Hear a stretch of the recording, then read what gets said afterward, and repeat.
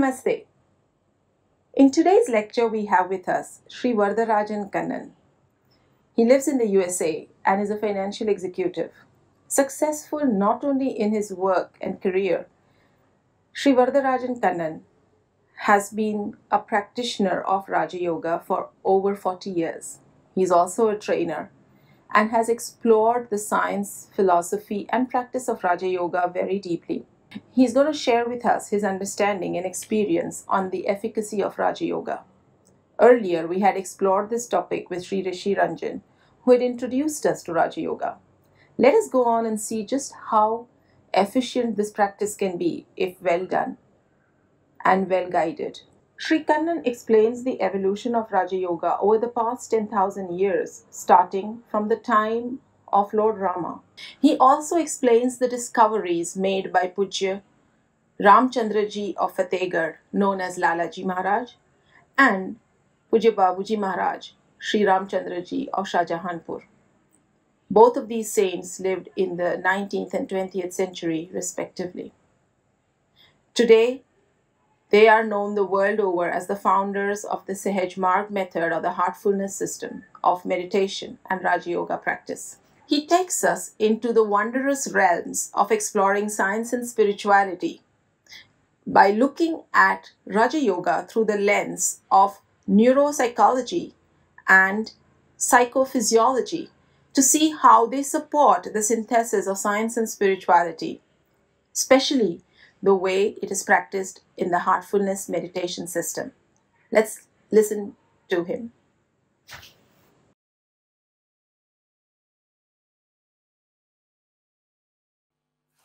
Namaste, everyone. Welcome to this um, session on efficacy of Raja Yoga. We have had uh, quite a few lectures on various types of yoga and also how there are two sides to yoga. One is all of the asanas and preliminaries, and also how we can meditate and do dhyana and dharana and also achieve the goals. And we have different goals that we set up for ourselves from stress management to self realization. But as far as yoga for unity is concerned, it is the search for that unity. How does it feel to become united? What are the markers along the way? And how do we recognize those markers? And we know there are probably several types of yogas, and especially four broad categories of yoga. Not only hatha yoga, but also in terms of the contemplative side of it, which is bhakti yoga, karma yoga, jnana yoga, and raja yoga.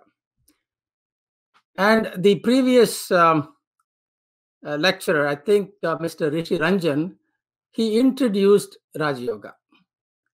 And he also touched upon the Raja Yoga that is offered by Heartfulness Institute. Previously, um, we had this uh, uh, system of Raja Yoga way back during Lord Rama's time.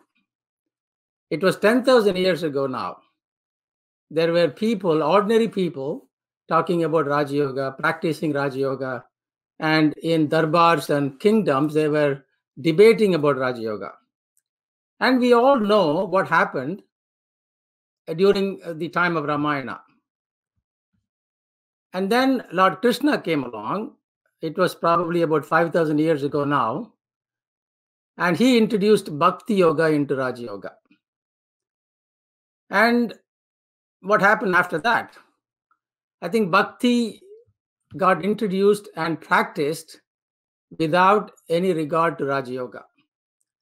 And there have been proliferation of faith-based religions and faith-based worship, but unfortunately, there has not been enough of Raja Yoga element in it. So Raja Yoga by itself during Lord Rama's time seems to have been inadequate and why. Both Lord Rama and Ravana, both were tapasvis, both were yogis. And Rama, of course, we know the contrast between Rama and Ravana. And how did that, that come about? Both Rama and Ravana had their kundalini um, aroused. The reason I'm I want to talk about some of these uh, aspects at a very um, early part of the discussion is to make sure that we um, follow a path that is well researched, well practiced, well established, and also allow ourselves the practical experience of doing a sadhana, doing a meditative practice, so that we can experience the benefits of it firsthand. The science of yoga on the physical side is very palpable, perceptible, and it's easy for us to uh, uh, you know research and then have cause and effect relationships. But when it comes to the contemplative side, the neuroscientific side, the um, subtle body improvement side, it is a combination of a little bit of mystery because we don't have vocabulary, we don't have prior knowledge to understand what it is uh, that we feel when we progress. So the um, the misunderstanding that we all have with respect to various types of meditative practices and its effect on us needs to be um, eradicated. And one such misunderstanding is around Kundalini Yoga. Kundalini um, gets awakened in a natural fashion when all the chakras are purified. And to purify the uh, chakras, the only effective means is Raja Yoga. And of course, there are uh, breathing exercises or Kriya Yoga, which is also part of Raj Yoga, but we will come to that as to how uh, Patanjali's Ashtanga Yoga, you know, provides the foundation for uh, Raj Yoga, and also how Patanjali's um, Ashtanga Yoga has been remodeled or improved by um, the saints uh, that came in the 18, 1800s uh, Sri Ramchandra of Fatehgarh and also his disciple Sri Ramchandra of Shahjahanpur, affectionately called as Lalaji and Babuji, and how they have been pioneering uh, both uh, research as well as new knowledge of how to make Raja Yoga more effective, especially for, for the modern day um, uh, people to practice. Babuji Maharaj says that uh, liberation, salvation, and realization, these are birthrights of human beings, all of us, just not a few of us. So, for both Lalaji and Babuji, the Ramchandras of Fatehgarh and Shahjahanpur, it was important for them that they take this Brahma Vidya to common man. It is not the privilege of a select few, but it is to be spread far and wide to all the human beings all over the globe. So they thought about how to make this Raja Yoga more effective and more suitable for the common day people.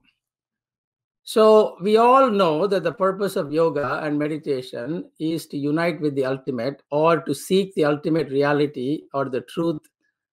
But what does it mean? In one way, we can uh, ask that question is the traditional question of who am I? Where am I going? Where did I come from? So, this innate search to ask that question and to search for answers takes us to a simple idea that we came from a source and we want to go back to that source. Now, in Raj Yoga, it is the king of yogas. We use the mind because the mind in a human being is the connecting link between the body and the soul. And so we use the mind to regulate itself, purify itself, and focus on the goal. So the simple idea behind Raja Yoga is to use the kingly thing in a man, that is the mind, to see how we can help with respect to the bodily orientation and also in terms of our focus on wanting to go back to the source. It is the research finding of uh, Ramchandra, Babuji Maharaj, and Lalaji uh, that our mind comes from the time of creation. There is a similarity between our mind and that of the cosmic mind or the absolute mind.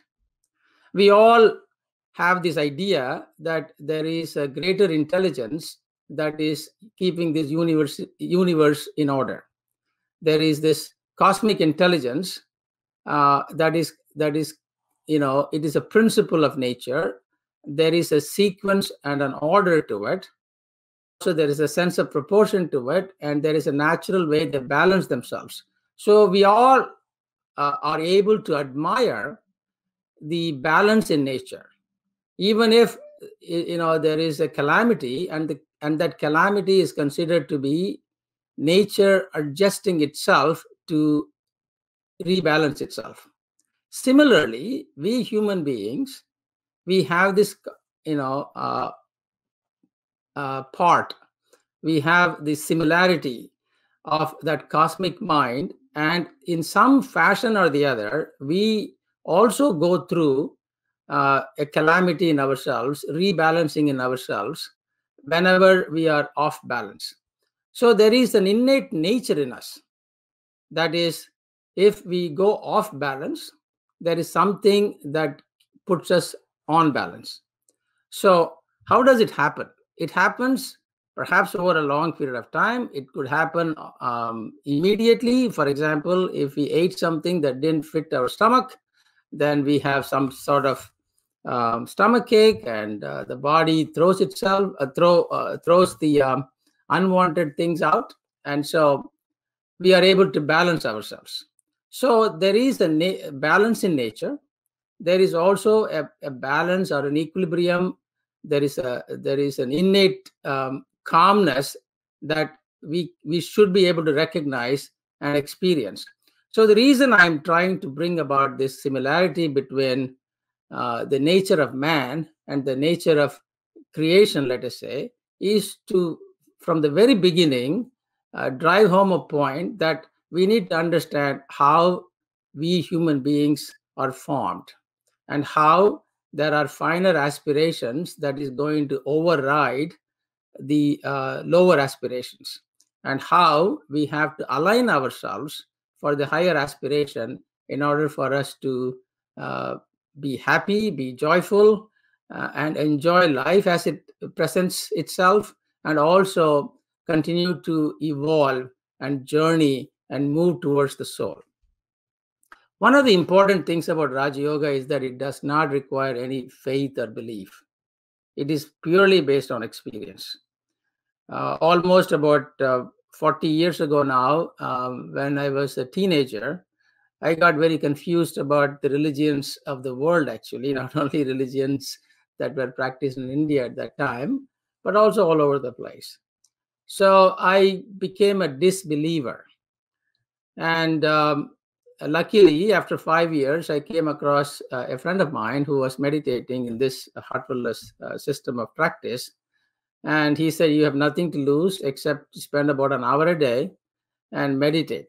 And so I sat and meditated and I felt something. And that experience during the first meditation is what has um, inspired me to continue on. And I didn't have any belief in God.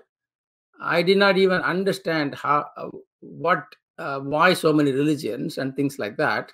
But there was something that was telling me that I need to know as much to disbelieve in something as much as to believe in something. So, how do I know? The best way to know is to experience. So, Raja Yoga puts experience ahead of anything else. So, that is why it is effective. If you are able to experience the progress, if you are able to convince yourself that you are able to grow doing this practice, then it is something that will last with you for a long time.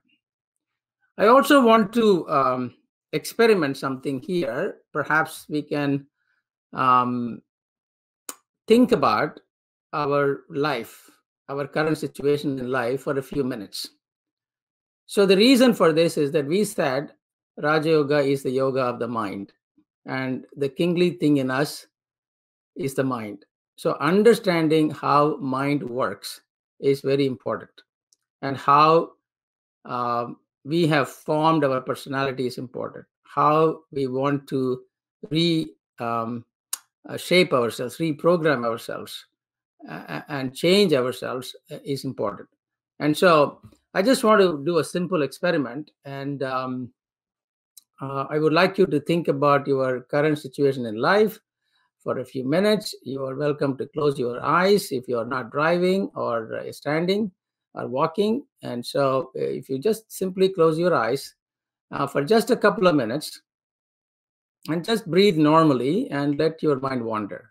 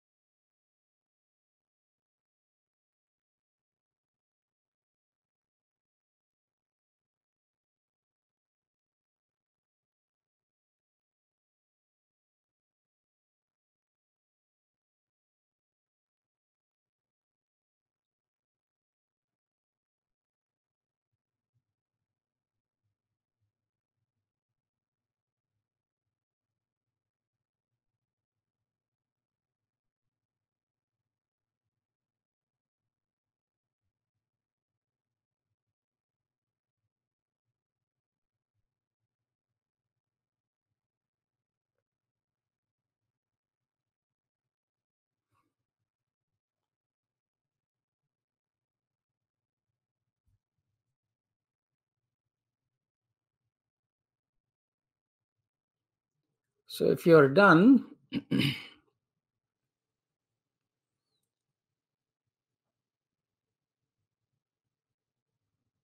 so what thoughts did come to your mind? What sort of thoughts? Did you feel any emotions? So just stay on that for a couple of minutes. So, what thoughts came to my mind when I was calm and quiet? May not be calm, but quiet, with my eyes closed. And did I feel any emotions?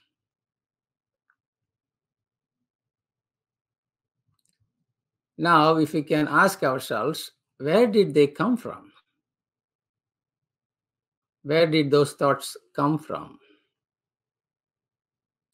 Why did they come?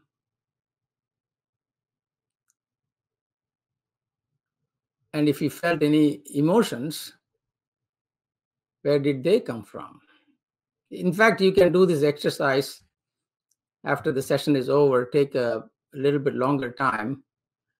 But what I'm trying to drive home is that thinking and thoughts one is a process another is a is an event right?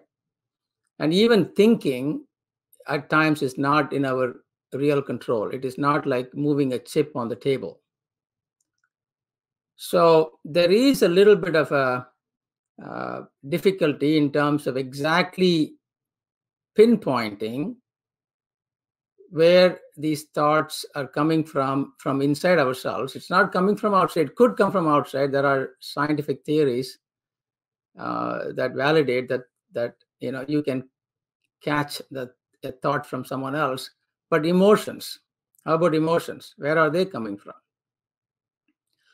So there is a theory of samskara or theory of impressions and which basically says that when the unwinding of the impressions happen.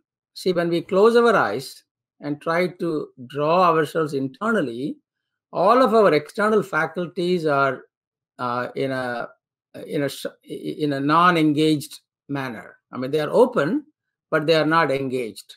When our faculties are open when our eyes are open ears are open uh, and of course ears nose and everything is open we are able to engage in the outside uh, world. And so there we are taking in impressions.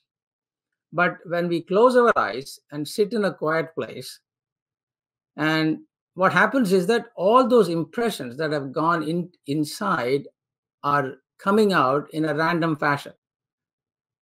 Um, and normally there is a, a last in, first out type of a scenario with respect to memory patterns. But there are some deeper impressions, very deep impressions, childhood impressions, uh, and they will come out uh, as our personality trait. So at the end of the day, we are bundle of our thoughts, actions, and uh, reactions, and feelings and emotions. So the entire composite is deep inside us, and they come out, um, you know, in a in a fashion that is uh, very difficult to uh, understand, and yet there are patterns that we can recognize, and that patterns are our personality. And if we want to change our personality, we want to be able to understand how these impressions are stored in our body and psyche. So, the theory of impressions, unlike karma, for example, good karma, bad karma, or fate, where it it it almost uh, you know um, tells us as if uh, we cannot change our future. And so Daji has written a book on um, uh, uh destiny, uh, designing our own destiny. So he beautifully says that we can change our destiny only in the present. The choices that we make in the present will have an impact on our future, not on the past, but in the future. But how do we process the past in the present? It's only to have an attitude that is positive, that is forgiving, that is loving, that is compassionate. And so we are able to move forward.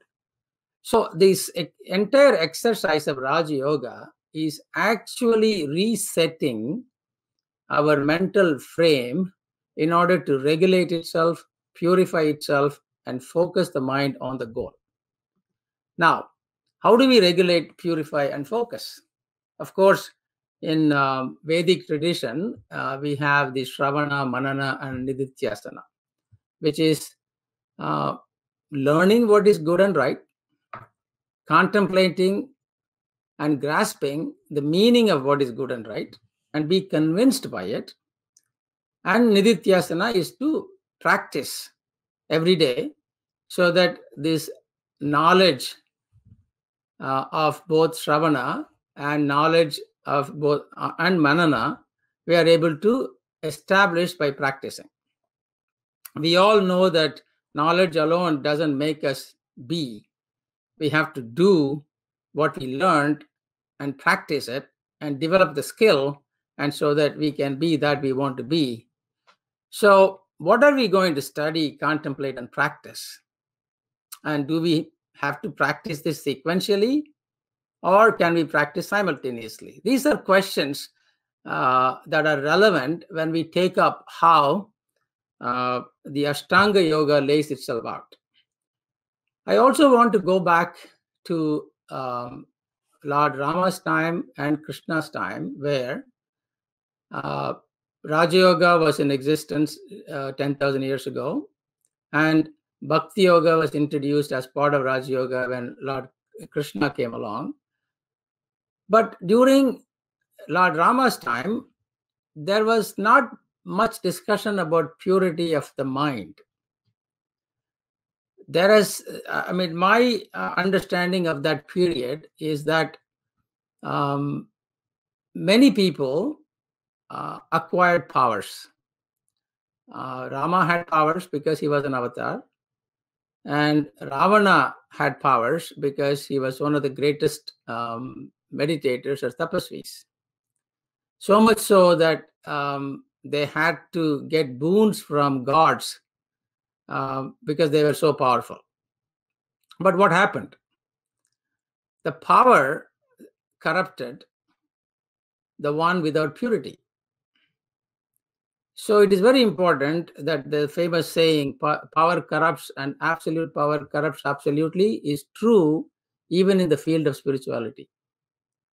And so during Rama's time, the emphasis on purity was not there, or at least I have not come across the emphasis on purity. There is an enormous amount of talk about dharma, doing one's duty. But again, purity is something that is significantly missing from the emphasis until um, Ashtanga Yoga came along. So there is an evolution of Raja Yoga where from Rama's time and Krishna's time, where he introduces bhakti into this. And then, of course, we have enormous amount of research in Vedanta about knowledge, about Jnana Yoga. And of course, uh, Karma Yoga is also something that both um, Swami Vivekananda and Lord Krishna have emphasized, where uh, we do our karma without being attached to the results of it. But even that has been misunderstood by many, many of us, because when we do work, we work only for results. But it is the attachment, the ego that that gets attached to the to the results of the work, as if I did the work and I produce the result, creates the solidification of ego.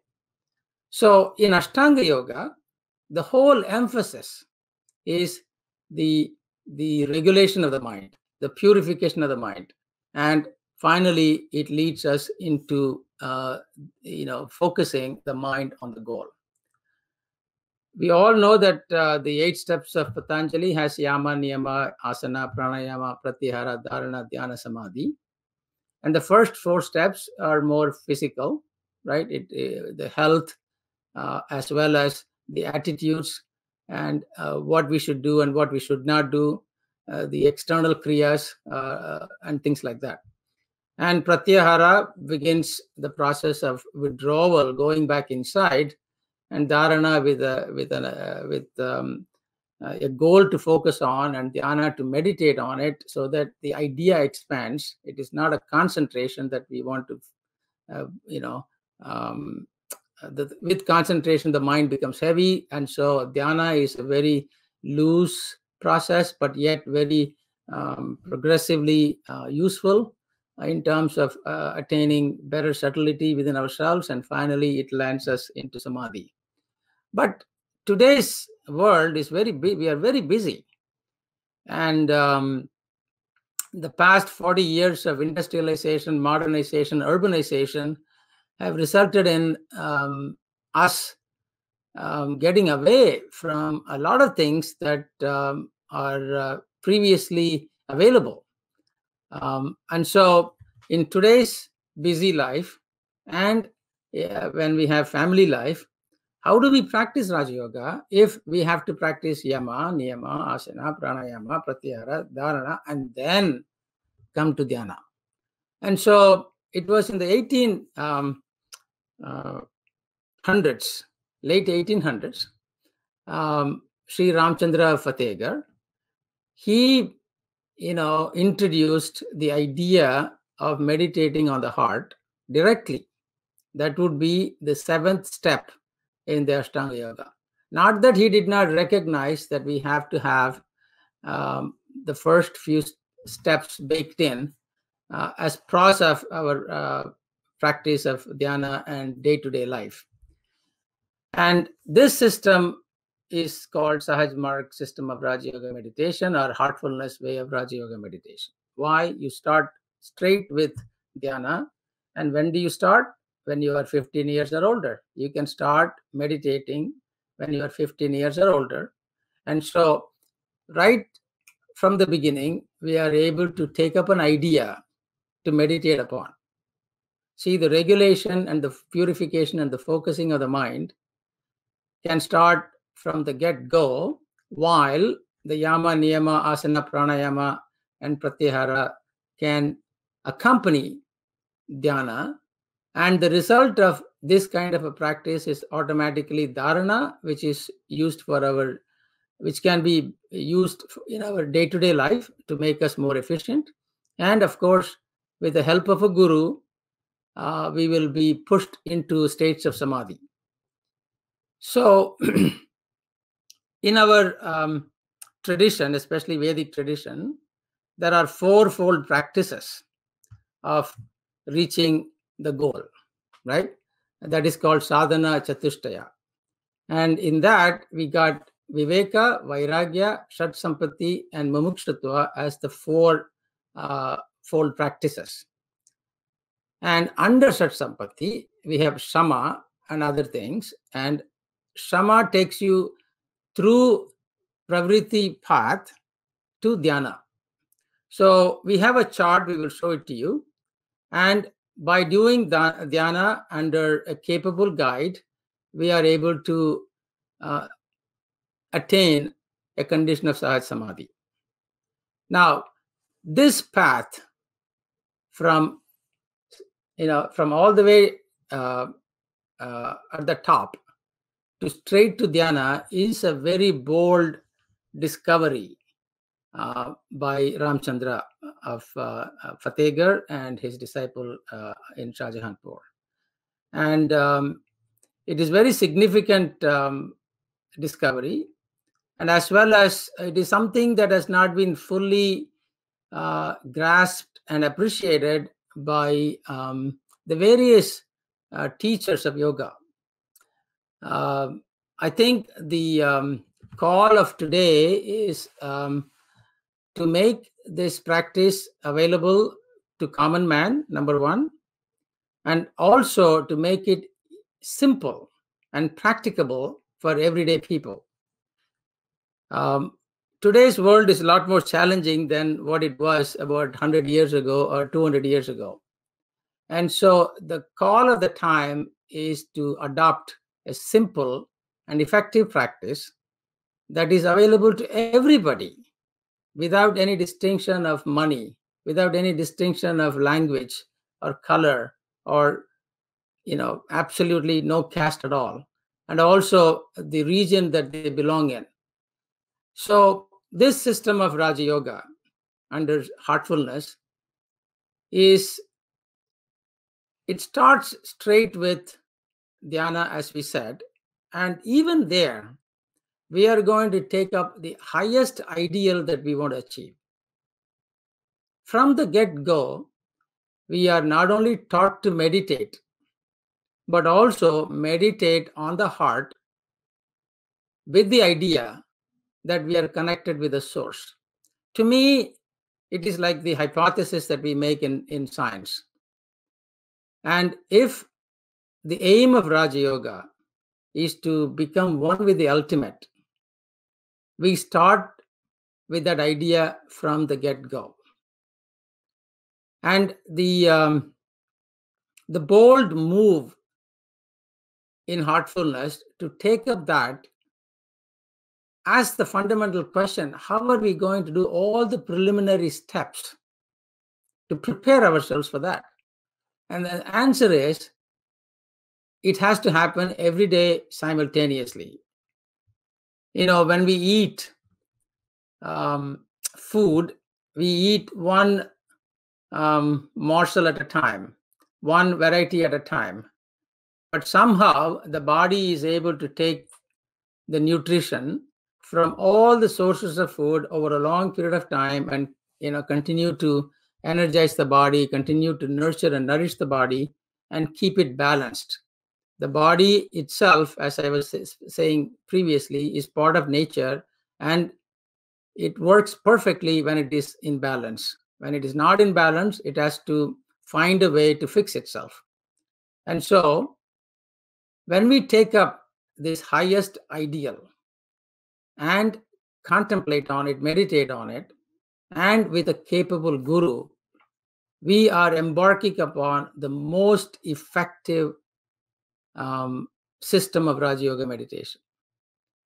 And it also is scientific for we are the experimenter, we are the experiment, and we are going to be the result of that experiment.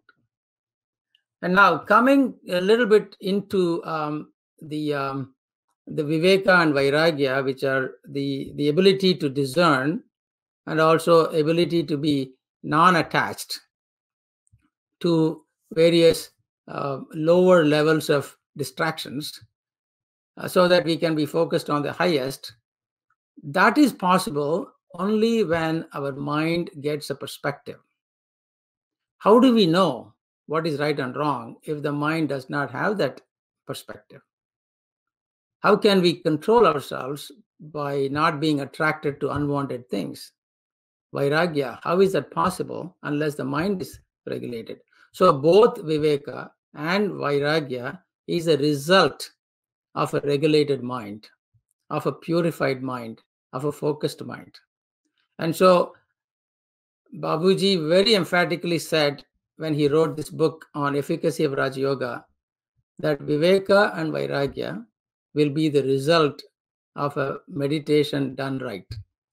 And so, um, so now let us look at the scientific basis of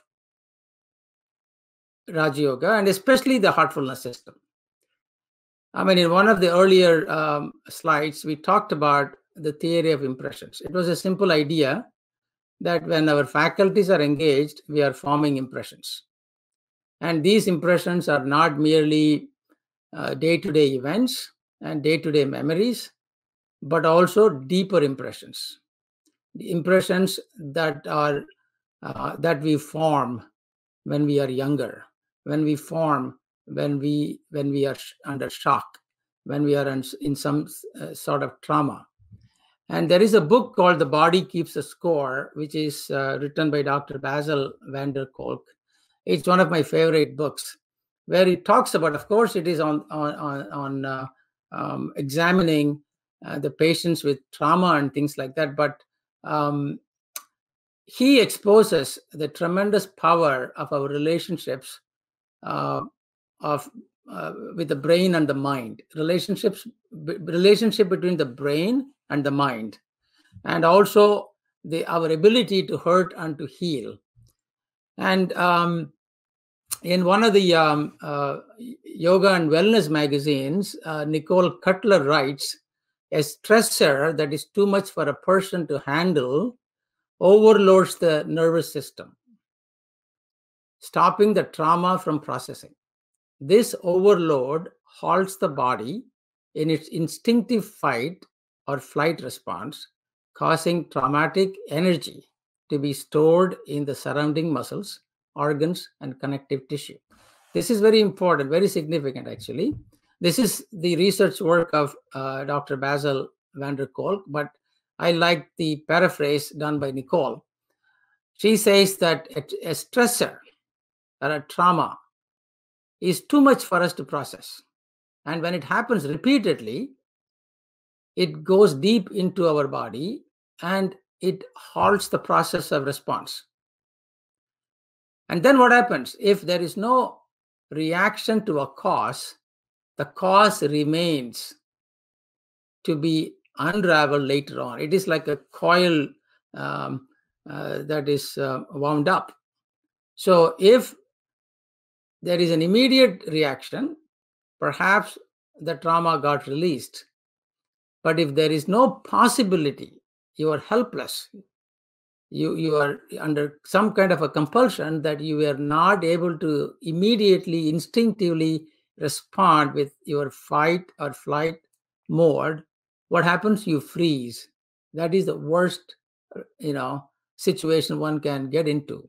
But many of us have gone through, especially when we were children, uh, we have been frozen with uh, events and um, emotional stress that we had no um, understanding of, or we did not have any outlet immediately. And this energy, she says, this, this traumatic energy is stored in the surrounding muscles organs and connective tissue. This is significant because in um, efficacy of Raja Yoga, Babuji writes that, and also in his uh, research, he has stated that all these impressions, the deeper impressions, are stored in not only various chakras, but also in the intervening layers of our muscles and tissue inside us. And so even the purification can be done in a manner that relieves the body of this uh, heaviness. And so we will come to how in heartfulness we have various tools that help in the process of removing these impressions in a very tangible fashion. So the first thing is impressions create um, a memory and they are stored in our muscles and organs and tissues.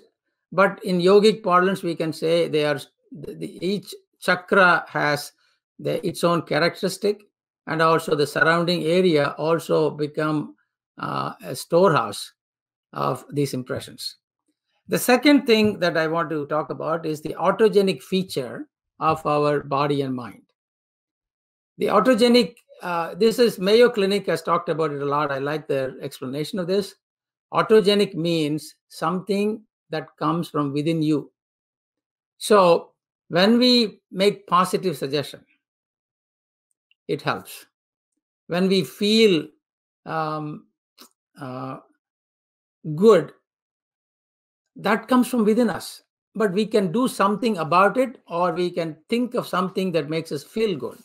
There are researchers that show that if you just imagine that you exercised in a sincere way, then there are some um, benefits that the muscles actually get, get strengthened. So the autogenic feature of relaxation and rejuvenation that we have in heartfulness also has a scientific basis for it. Of course, we all know about the power of positive thinking and neuroplasticity.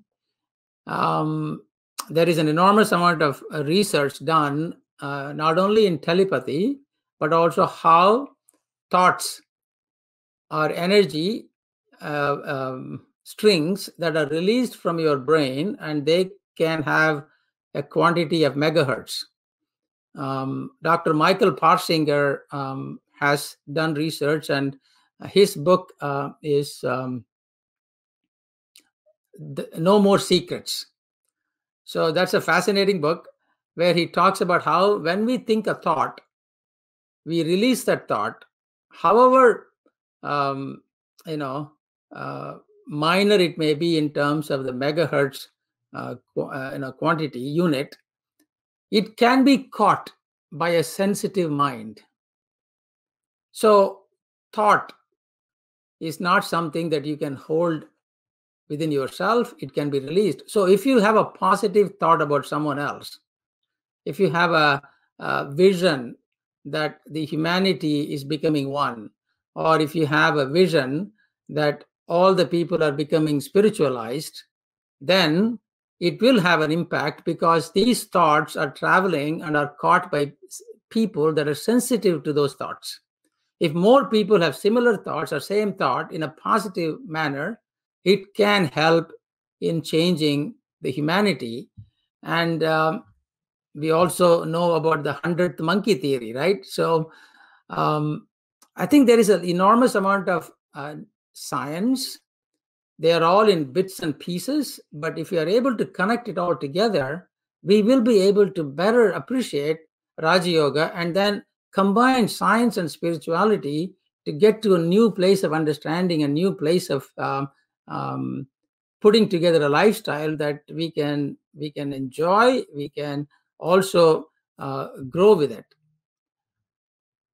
This is a significant statement that Babuji made that man was created in the image of God not in physical term. It means he is composed of all the energy and power that nature has in the same order and potency. They are also positioned in the human body. So, this is why um, many, many rishis have said that the body is the temple of God. And it is important that we take care of the body. For what? So that the indweller can be inside, safe and secure, loving and kind, and also joyful and blissful and expansionary. So, we men, we human beings, have this greatest potential of using the body as the temple and then growing within us into the reality of God. The problem with the word God is that it has been associated with so many idols and powers. it, it, no wonder I got confused when I was 17. And I am sure there are many, many um, young ones, they are not able to understand what God is or who God is. But if we are able to uh, demystify the idea behind God as something that we can become like, that is why it is called God realization, same as self realization. So, uh, Daji, in one of the recent talks, uh, Daji is our uh, current guide of heartfulness, uh, Kamlesh D. Patel is his name. He was a pharmacist, so scientist by background. And then he recently uh, talked to Ranveer about how um, we should be able to uh, aspire for the highest. And it is possible that we use our physical, mental, and spiritual orientation to reach uh, the highest while enjoying the present and also enjoying everything nature has offered with a proper sense of proportion. I also want to take a brief moment to compare the seven chakras that we talk about in, in all of the traditional um, yoga literature uh, with the innovation um, Ramchandra has offered us. The seven chakras, um, uh, all of us know that it starts with Muladhara and uh, goes up to SDK. And of course, Kundalini is near Muladhara. And um, in our, uh, in this heartfulness system of uh, yoga, the first three chakras are not taken immediately. They are um, adjusted or they get purified or regulated. They need to be regulated more than purification. There is not much to purify there. Uh, but they get regulated uh, as we progress. And uh, we take up the Anahata chakra, the heart chakra, and then the heart, as I said, uh, was is the connecting link uh, between body and mind, between here and there, uh, between um, our physical realm and our emotional, mental realm and spiritual realm. So the heart is at the center. Not only it is the fourth of the seven chakra uh, framework, but also it is in the in the middle of everything. It is the connecting link of everything. So the significance that heart plays cannot be underestimated. And that's why uh, I think this system is called heartfulness, where the heart is taken as a place of focus for meditation. Now, this heart is just not a, a chakra, but a, a, constellation of several subpoints. This again is a discovery of uh, Sri Ramchandra. And um, we hold in this space uh, an enormous amount of emotional uh, struggles. Heart is is a, is a place where uh, we have the dualities of our emotions, um, the signals of our struggles, and what we have to what is right. Um, and it has it has been for simplicity has been divided into four points point one two three four uh, which are earth chakra you know uh, atma chakra and uh, fire and water. And then the fifth one is of course uh, the uh, the vishuddhi uh, you know that's also point of illusion versus clarity confusion versus clarity. So the point one also has several subpoints and the discovery is that when we engage with the world we either like or we dislike that is our first impression but how we process the first interaction determines the rest of the story so suppose we are pleasure oriented it goes to a sub point if we are acquisitive, it goes to different subpoint. And why is it important for us to know these things? Because this is where the sufferings begin. Buddha said desire is the cause of suffering. But what is desire? It has got two faces to it. I like something, I don't like something. So that is the first impression. If we are um, uh, neutral about a situation, equanimous about a situation, if it is not relevant to me, I don't have to like or dislike. Then the question becomes what is relevant for me? What is useful for me? So that is a different type of uh, an orientation. And so the like and dislike, when it splits into sensory or acquisitive, it, the the downward journey begins of a life, uh, which is which will eventually get into some sort of suffering.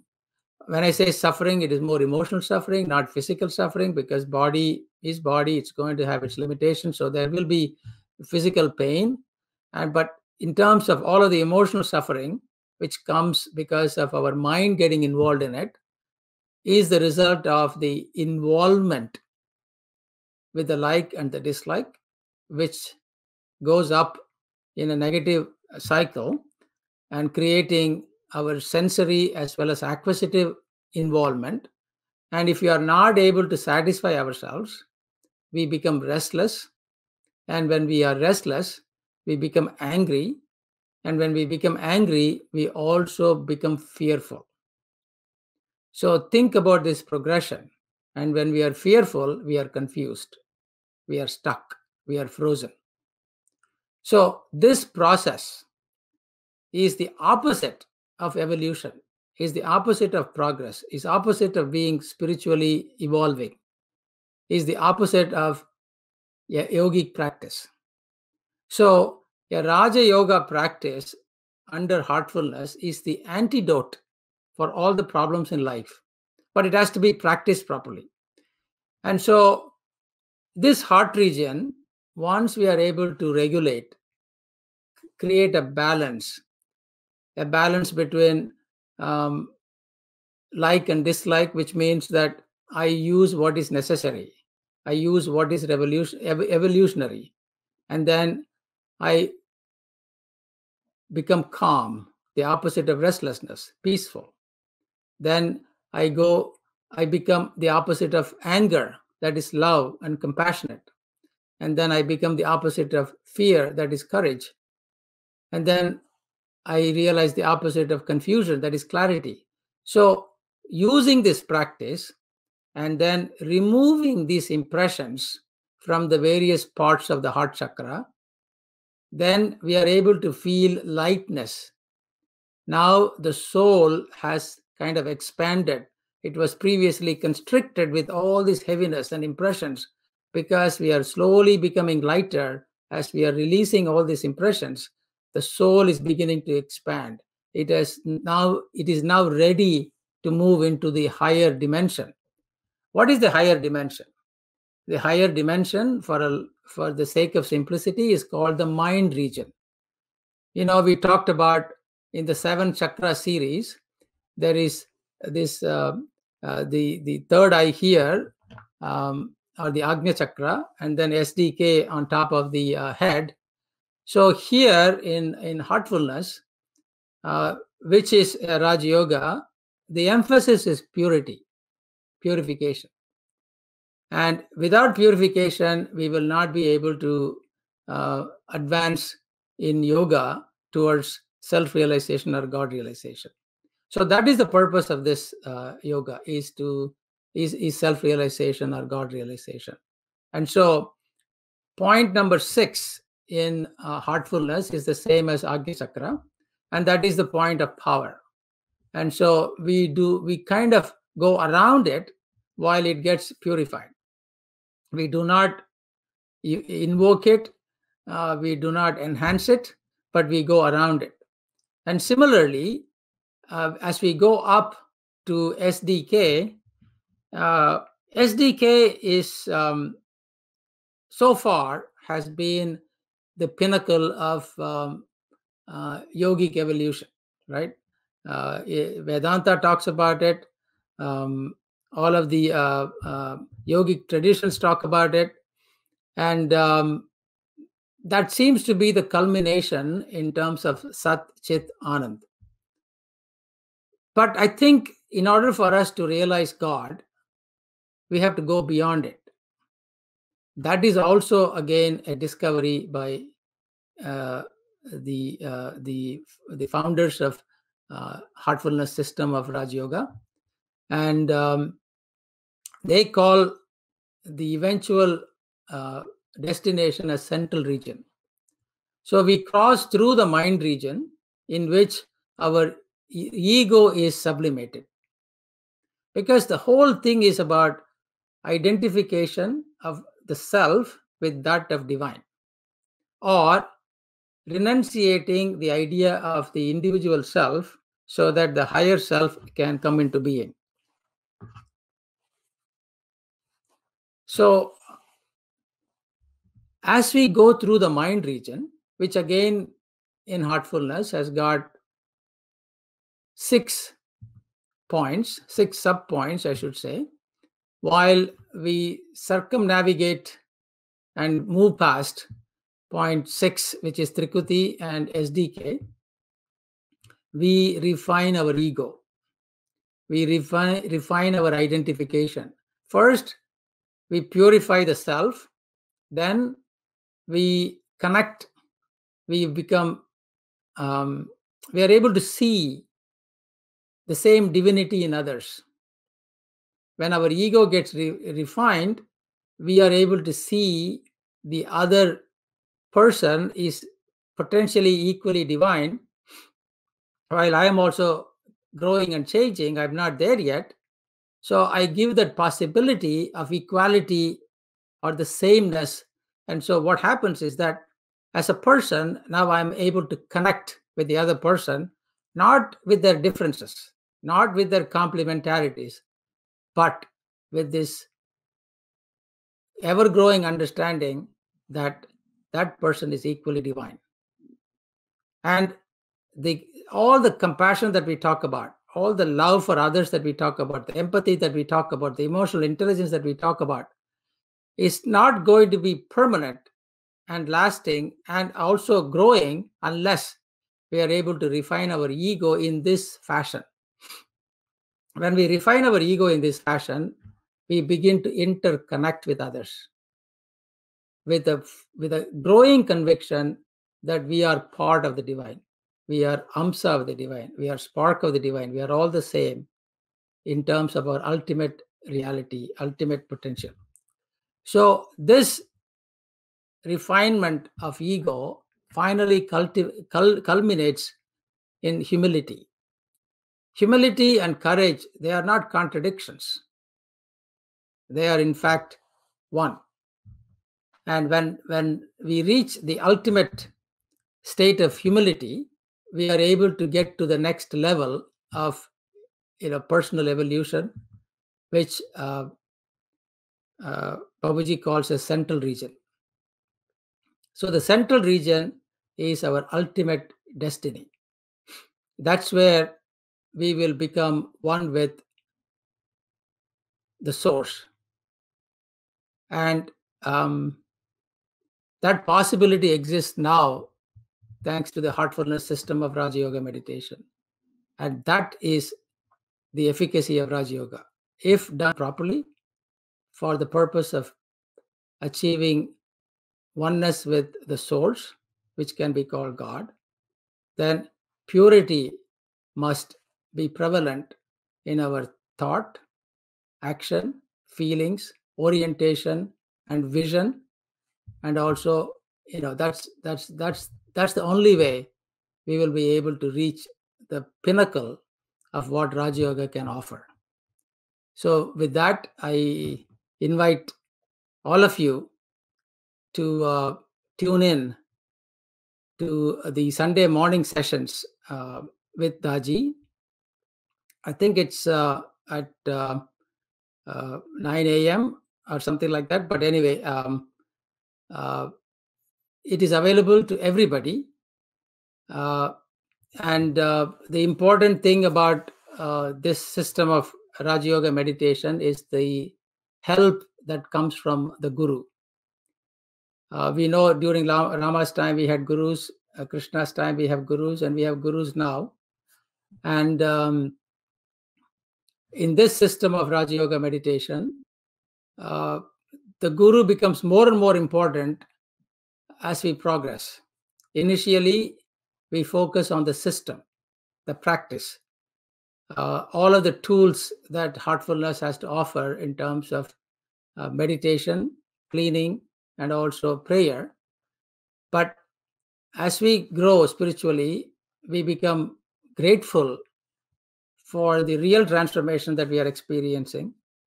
And that creates a relationship with a giver, with a guru.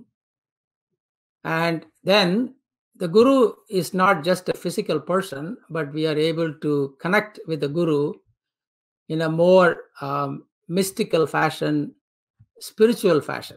Because as a person, uh, you know, we, we are who we are. But as a spiritual guru, it is something that we have to discover over a long period of time. So the first step in associating with a guru is the practical experience, practical benefit that we feel, and the gratitude that it that it uh, evokes in us. And then we open ourselves to the rest of the uh, process. One important thing that happens that we will experience if we are willing and open is the subtle energy of pranahuti, the transmission. For a lack of a better term, we use these words like pranahuti and transmission, but it is difficult to explain it. How do you explain mother's love?